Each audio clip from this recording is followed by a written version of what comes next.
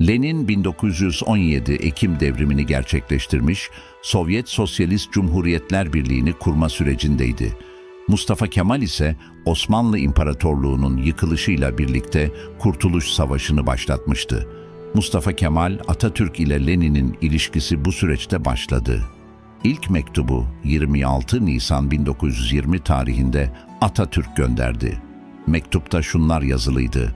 Emperyalist hükümetler aleyhine harekatı ve bunların tahakküm ve esareti altında bulunan mazlum insanların kurtuluşu gayesini hedefleyen Bolşevik Ruslarla mesai ve harekat birliğini kabul ediyoruz. Evvela, milli topraklarımızı işgal altında bulunduran emperyalist kuvvetleri kovmak ve gelecekte emperyalizm aleyhine vuku bulacak ortak mücadelelerimiz için dahili kuvvetlerimizi şekillendirmek üzere şimdilik ilk taksit olarak 5 milyon altının ve kararlaştırılacak miktarda cephane ve diğer fenli harp vasıtaları ve sıhhi malzemenin ve yalnız doğuda harekat icra edecek olan kuvvetler için erzakın Rus Sovyetler Cumhuriyeti'nce temini rica olunur. Bu mektubun ardından karşılıklı görüşmeler başladı. 11 Mayıs 1920 günü Dışişleri Bakanı Bekir Sami Bey başkanlığında bir heyet Moskova'ya gitti. 4 Ekim 1920 tarihinde Müsteşar Umpa Langarski başkanlığındaki Rus diplomatik misyon görevlileri Ankara'ya gelerek Atatürk'le görüştü. 19 Şubat 1921 günü Ali Fuat Paşa Moskova'ya elçi olarak gönderildi. 16 Mart 1921 günü dostluk anlaşması imzalandı. Atatürk'ün Lenin'e yazdığı mektupla başlayan dostluk, Lenin'in Kurtuluş Savaşı'ndaki desteğiyle devam etti. Lenin, İnebolu'ya 300 bin ton cephane ve silah gönderdi. Bu cephanelerin önemini Atatürk, gözüm Sakarya'da, Dumlupınar'da, kulağım İnebolu'da sözleriyle ifade etmişti. İnebolu'ya indirilen silah ve cephaneler kanılarla Anadolu'ya götürülüyordu.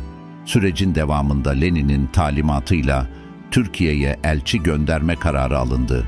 Elçi olarak Sovyetler Birliği Milli Savunma Bakanlığı, Harekat Şube Başkanı ve Litvanya elçisi Semyon Ivanoviç Aralov gönderildi.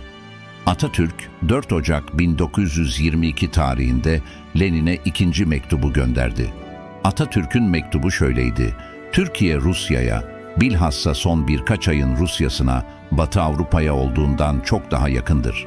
Memleketlerimiz arasında bir diğer ve daha mühim benzerlik, bizim kapitalizm ve emperyalizme karşı mücadelemizde yatmaktadır. Sizi temin ederim ki, Sovyet Rusya'ya karşı doğrudan veya dolaylı olarak asla hiçbir anlaşmaya ve ittifaka dahil olmayacağız. İsmet İnönü Novoe Vremya dergisinin 15 Eylül 1967 tarihli sayısında Atatürk ile Lenin'in dostluğu vasiyet ettiklerini belirterek şöyle diyordu. Türk-Sovyet ilişkilerinin yeni kurulduğu sıralarda benim ülkem neredeyse bütün dünyayla savaş halindeydi. Ve bu çabalar içinde Sovyet Rusya mücadelemizde bizi haklı gördü ve Mustafa Kemal Atatürk'ün hükümetini tanıdı. Atatürk ve Lenin'in şahsiyetinde Türk-Sovyet ilişkileri kuruldu ve hepimize karşılıklı dostluğu vasiyet ettiler. Hemen hemen bütün devletler biz Türkleri güçsüz saydılar ama siz o günlerde bizim yanımızda yer aldınız. Lenin'in önderlik ettiği hükümet bize yardım etti. Bu o zaman için son derece önemliydi ve bize güç kattı.''